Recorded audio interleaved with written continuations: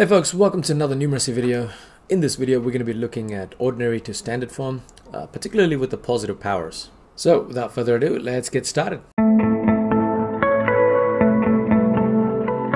So let's say this number 625,000.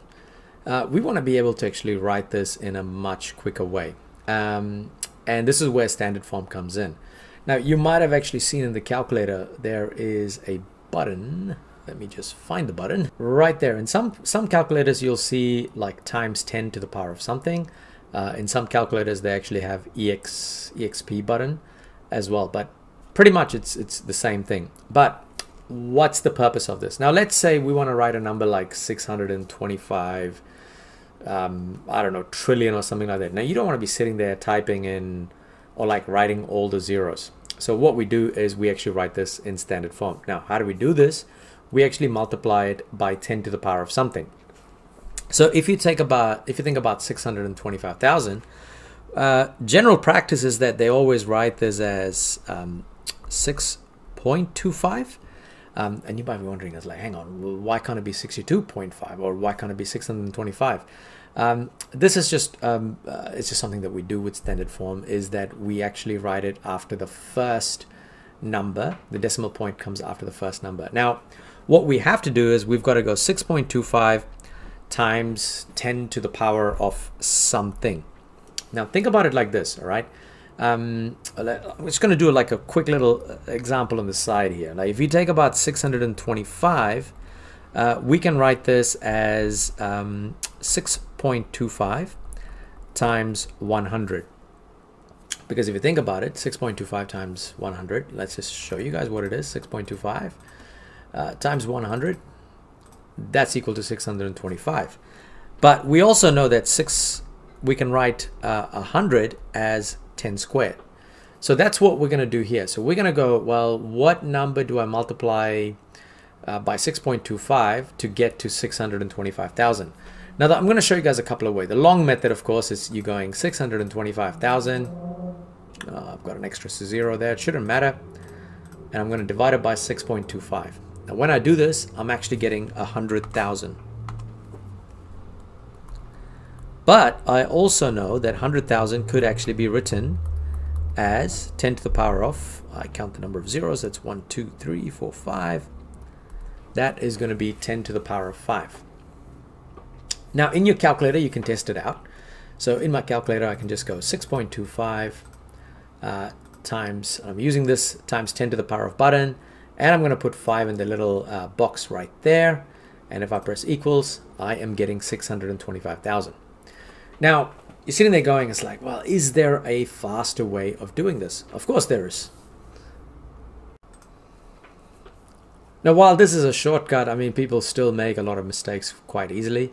Um, but I'm going to show you guys a shortcut here. So if I have 625,000 I know that 625,000 could be written like this, 0.0, all right? Now, you're thinking, well, actually, this is still the same number.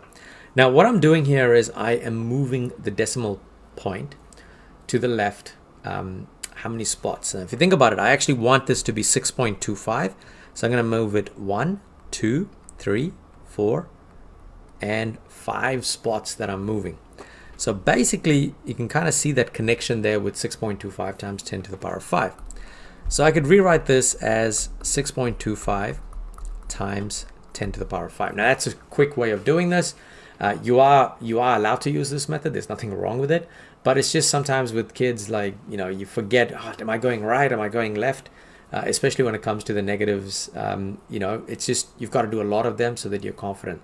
Otherwise, you could always do um, the old method, which is uh, it by 100,000 or 100, whatever, and then rewrite that as 10 to the power of something. So I'm going to do a couple of quick examples. I'm going to do uh, long method and short method. So long method here, I actually want this to be 7.5.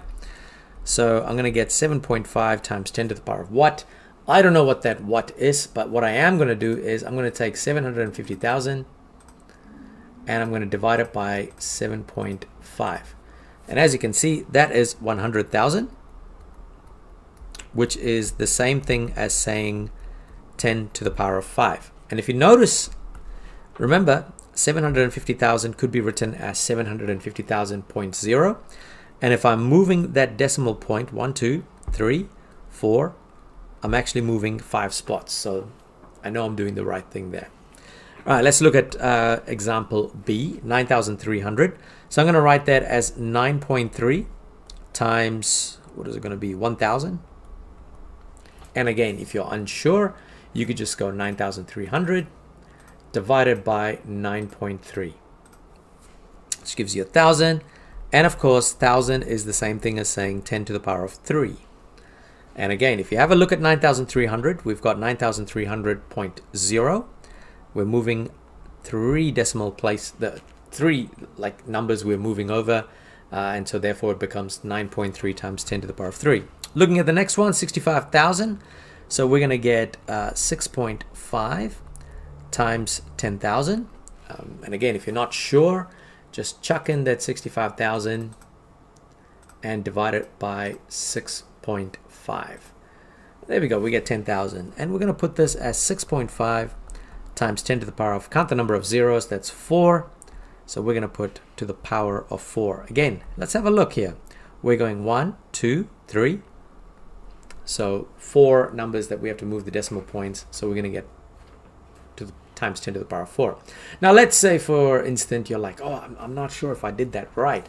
Then what you could do is just go into the calculator uh, and I'm going to look at question A here and I'm going to put down 7.5 times 10 to the power of 5 and I'm getting 750,000 so I've done it right and if I look at question B I'm going to go 9.3 times 10 to the power of 3 and that's giving me 9,300 and finally, I'm going to do 6.5 times 10 to the power of 4.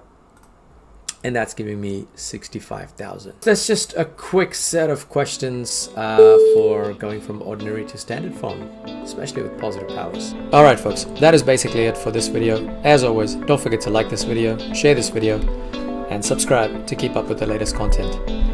Now, there should be a couple of playlists popping up here and here. Great material for revision, and as always, thank you for watching.